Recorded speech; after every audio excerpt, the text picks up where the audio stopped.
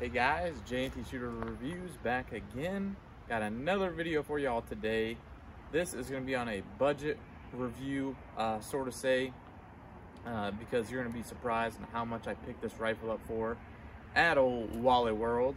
Uh, I know a lot of Wally Worlds don't sell guns anymore, which is stupid. They used to sell ARs and all types of things, but they won't talk about that anymore. But picked up this Rossi RS22 for $116. That is cheap as hell. That was out of the door, out the door price. So if you ask me, you can't find guns anymore for that price uh, for the budget minded. I know a lot of people are struggling, things like that right now. So um, I know a lot of people are friends and all types. So uh, I figured, you know, people ask me all the time, what's a cheap, cheap option for, you know, maybe a rifle for self-defense or they just can't afford an AR or whatever the case is, they're getting into firearms. Because I get a lot of comments on my channel about this stuff. So, to help uh, people out, this is probably the easiest, cheapest way to get into a firearm. Um, it is 22 LR, that's what the 22 stands for in RS. But, um, I mean, I don't have any complaints about this rifle, and I like that it is so budget friendly. Uh, it does feel like a very nice rifle. It is very lightweight. Uh, shot about a whole brick through this, or half a brick, 500 rounds, and haven't had any issues with it. But we're going to talk about a few things about magazine availability and aftermarket accessories. Um, that's going to be kind of a big one for this rifle today because I know a lot of people are going to complain, complain it only comes with one one mag and it's 10 rounds. Um, that's all it is. Uh, unlike, you know, the Savage 64Fs, they only came with 10 round mags and it took forever for people to start producing extended mags for them, which they were just two 10 round mags welded together pretty much. But uh, let's just hop into this uh, stop talking and I'm gonna shoot this real quick and we'll go over the specs. So.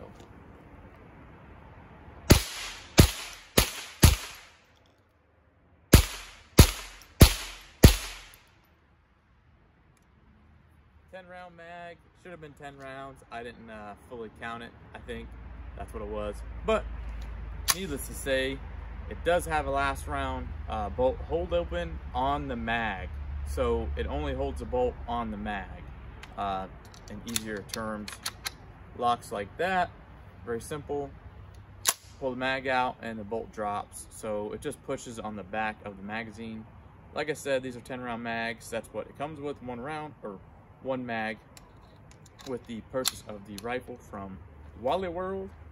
But um, so the mags do go for about 20 to $25 online. Then you have to pay for shipping, of course, unless you're doing a big old bulk order.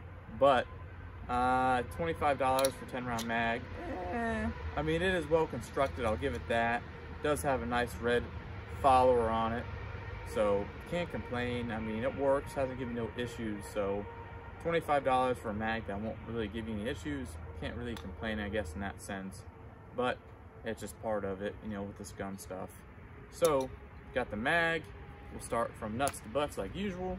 Back here on the back, it is just a black polymer uh, butt pad on it. Uh, it's just a 22, so you don't need anything crazy. You don't need any, uh, uh what is it? Those reduction uh, butt pads that people sell for like $50, stuff like that. Those are worthless with 22s, you don't need that. But this whole stock though is very nice, I must say, for the price of this rifle. It is arched in the back a little bit for the cheek weld, and I really, really like that. It feels really good. When you're looking down the sights, it kind of keeps it keeps your cheek up, which that's why it's a cheek riser. So it is very comfortable. Um, I like how they molded that into the stock. I think it was smart. You have a little bit of grip here uh, where your hand goes and it's not very textured, but it's cut out. So it feels all right, nothing crazy. You have a uh, trigger, of course, just a polymer trigger, It's real, it's pretty nice. Uh, no complaints with it. It is like a five and a half pound trigger or so. It's nothing crazy. It's actually pretty nice. It breaks very smooth. No complaints. Uh, hundred, like I said, $116 rifle. I mean, you can't complain with something like that. You have the oversized bolt uh, handle, charging handle, which is very nice. So you got on your shoulder is very simple and you can take it out if you're cleaning your rifle. Uh, that's what you want to do, whatever. Um, so that's really nice. It is a cross bolt safety. So if you do not know what that is, I'll show you. So this is the uh, rifle that is uh, vertical. So you can see right here in the front, a lot of shotguns have this. You just push it over like a cross bolt and you know, red is dead obviously. And you push it back over, it's on safety. So the trigger's dead. But um, on this rifle, it does not have the magazine disconnect. So the trigger can still, still go bang if you're on uh, fire. So just keep that in mind. You can put a optic on it with those little re, uh, weaver rails, kind of like the Henrys have. Sorry, damn, butter, damn butterfly. So you have those little weaver scope mounts. Put your little optic on this if you want. No, nothing crazy. Um, the sights, I actually really like the sights on this thing. They are fiber optic. They are uh, windage and elevation you can change, which is really cool for, you know, you buy a Ruger 1022, um, they have a little bit of play with them you can do with the Ruger, but um, this is really nice for these being optic or uh, fiber optic and everything right out of the box. It's very easy to change everything. You can see, tells your right is up and down. I mean, it's very simple how this works. And also, uh, another big complaint I have, a lot of people know about, that I complain about this, about the Ruger 1022, it does not come with uh, swivel studs. So you want to put a nice little sling on your Ruger 1022 Woodstock, you can't because it does not come with the little, uh, damn little, uh, can't remember what you call these, like little swivel stud uh, attachment. So, um, you know, I wish Ruger did that, but they don't. So, you know, they lose some brownie points. But I'll show y'all the sights for you. Try and get you a little bit of an angle and pull it up a little more for y'all. Sorry about that. You see the red in the front and you got green in the rear. So that is pretty cool. I like that uh, companies don't put the same color on the front and rear. It's, it's, annoying. Companies do that. I really don't like that. So I like that they put red in the front. Um, and it does have this little hood over the front sight, but it has a cutout. Usually, like on Henry's, one of my Henry 22 LRs have it. It has that little hood cover, so the sun's hitting down on it, um, since it's a little brass bead front sight, the sun's hitting down on it, uh, it's not going to shine and lose uh, sight of your front sight. But with this being a fiber optic, I'd say the reason for the cutouts is so if the sun is hitting it, it does light up that fiber optic a little bit better and you can see it a little bit more. So either way, pretty cool and it protects your front sight. Excuse me. So no complaints there, pretty cool. Um, it is blued, this model. They do have other colors, the black stock, the brown, a few other ones, but uh, this is the one they had and $116 out of the door. I mean, you just can't complain about that. You get $116 for this, and I bought a brick. I went to a gun store. I didn't buy any 22 ammo from Walmart, but my Walmart has a ton of 22 ammo. Uh, they have CCI, Federal, all types. You can get a whole 500 rounds out of a brick and you pay like 25 $30 or so. So it's not like it used to be, but it's not bad at all. Can't complain. So I like that. Um, so right out the gate, great little rifle. Oh, and this is the for the magazine. Uh, it's this little push button right here. Hopefully y'all can see that real good. Push it forward and pull the mag out and it's very simple. I'll show y'all real quick. Put the mag in, push, pull down, and you're done.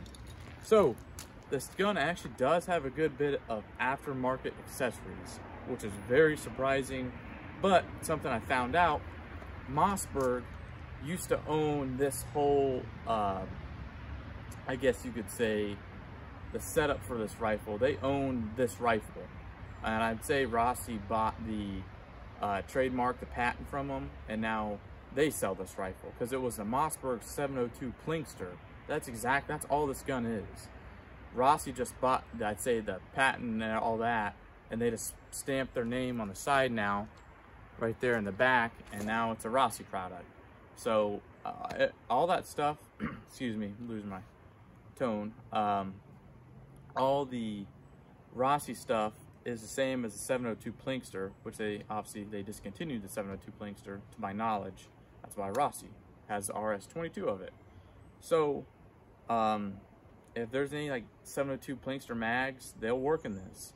Um, with that being said, I bought a 702 Plinkster 25 round 22 LR mag. I paid way too much damn money for this. Um, and this was a whole nother story in itself, um, which it is nice because now this rifle can take 25 rounds and you know, you get a little more firepower for, I did pay like $45 for this magazine, which pissed me off because when it came in, it was assembled incorrectly, which that really pissed me off because I had to take this apart and it was such a pain in the ass. I'll never buy another one of these mags because I don't want to risk having to take it apart again and have to assemble the whole thing because this is put together by hopes and dreams is literally how they put these together because all this is is a they take a 10 round mag like the one I just threw on the ground I shot out first. They take that they put it in this plastic housing they rip the bottom of the uh, plate of the 10 round mag out and they add an extra long spring and that's what is as you see in the bottom there. So that's all that is it's an extra spring in there and to hold 25 rounds with extra follower. But they assemble these like junk now since I took it apart and I didn't realize they had such problems with their quality uh, quality control excuse me with these I would have never bought uh, one of these mags it is such a pain in the ass um, and these little spring tabs on the bottom do not help loading the mag. Um, I have shot this rifle a good bit. I watched a bunch of videos and I was like, people are loading the mag wrong. They're not using the springs. You literally cannot use the little, uh, here, let me put this right here. I'll show you what I'm talking about. You cannot, these do not work at all. It is a useless piece to this magazine and um, like they should have just used Smith & Wesson M&P 1522 mags for this because it would have been a million times easier. I'd have paid $60 for the mags. But these are just so junk how they're assembled and just the quality like I was saying. But uh, when you have it in the mag in the rifle, you push on this back button and you pull the mag out. But with that being said, this is what was messed up um, this would not go in. So I had to take all these screws out and take all this junk out. And like I said, you have to hold your tongue right to get this put back together. It is horrible. And when you load these mags, you're gonna wanna take like a little, um, maybe a tiny wooden dowel or like a little wet, a little uh, metal like shish kebab uh, they use for the grill. Put it through here into these little uh, crevice where the spring is and hold that down and then you can load the mag. Um, like I said, these push tabs don't work at all. And I kept, like I said, I kept watching YouTube videos and I was like, these people don't know how to load a mag. It does not work. Uh, I'm gonna do a, I might do a video for y'all one day if you really want to see it, how much it pisses you off because it's, it is miserable. I cannot stand it. So, that being said, let's shoot this 25 round mag. Done enough talking, all right?